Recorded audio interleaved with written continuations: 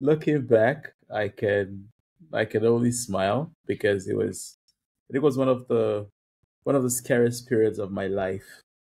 Um, the single thing I had devoted my life to uh, seemed to be at the very tip of my fingers, and I could lose it. And to be honest, I don't even think it was debt in itself that scared me the most. It was it was the fact that I was worried that I might never be the same again. I was I was you know, I was worried I was going to change in ways that I couldn't control. And um that was my fear, honestly. And so um as at a time where when I got the results and went through the surgery, I came out of surgery and um, I could talk after the first day, second day, but the third day upwards, I was struggling to form words in my mouth, and um, it was it was scary because um, some part of me, you know, knew it was transient. However, some part of me refused to, you know, admit it was transient. It was more of the battle of this doctor part in one side, and then the normal person, uh, the other side that really cannot separate themselves from the emotions that they are feeling. But it changed me a lot because that was a period where I really got to understand how how important people are and your support system is to your journey to recovery. We, we, we, we cannot we cannot ignore the fact that a support system is vital. And I was humbled because yes, my my my videos get to millions of people. But at a time when you know yes and uh, at, as at a time when i was at my most vulnerable i don't think we're up to 10 you know but these were people that really cared deeply about me.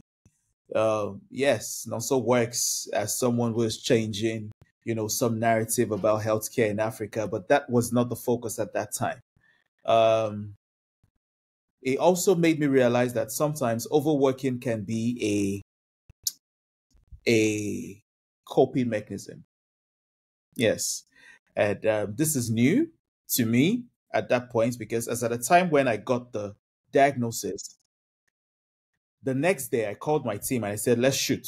Let's shoot for the whole of uh, December. So we we sat out in one day, and we shot videos that were supposed to last us for one month. It was it was a grueling experience, but I I noticed that I was trying to run away from the fear and the uncertainty I was feeling.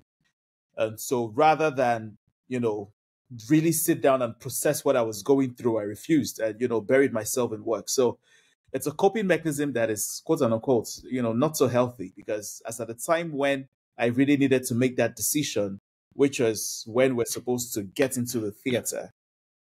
I was afraid again. And, you know, I almost did not get into the theater because that was where the reality of everything actually came on me. At some point, I was considering, you know, um, let me just wait for it to grow. And, you know, as at the point when I'm unconscious or, you know, having a seizure, then they can take it out. But um, that people are important your socials your your your support system is important and the decision to actually have the surgery in Nigeria was part of my belief system about Nigeria and its healthcare because a lot of people were shocked that I actually had the surgery in Nigeria.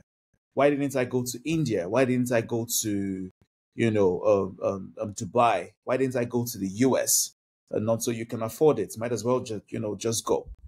But I I I, I have spent a, a couple of years before that shouting about the healthcare in Nigeria to Nigerians.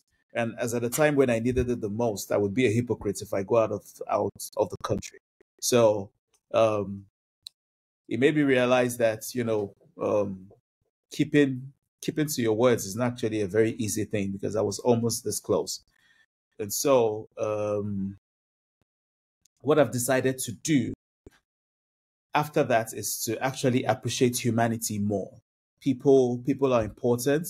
Sometimes we get so into the work and so into the mission that we lose the people behind, you know, the mission. So I make out time to stop, talk to people on the streets when they reach out to me, no matter how busy my schedule is.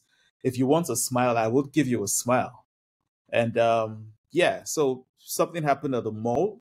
A one particular time, I was working with my wife, dealing with this, you know, difficult diagnosis that we just got. And someone walked up to me and said, "Oh, Aproko, I must take a picture with you." And I looked up at him and I said, "I don't think this is a good time." And he says, forget that you're good. You know how Nigerians are. Nigerians are very boisterous yeah, yeah. and in your face. Yeah. And it was like, oh no, forget that you're good time. Me and you must take this picture today. And I knew that he said that in good faith. He wasn't doing it because mm. he wanted to be malicious. And I mm. took off at him. You know, I used cuss words that I probably am not proud of repeating. You know, screamed the whole mall down and I could see the confusion on his face. He was wondering, I'm just asking for a picture. Why is this guy going off on me? And um,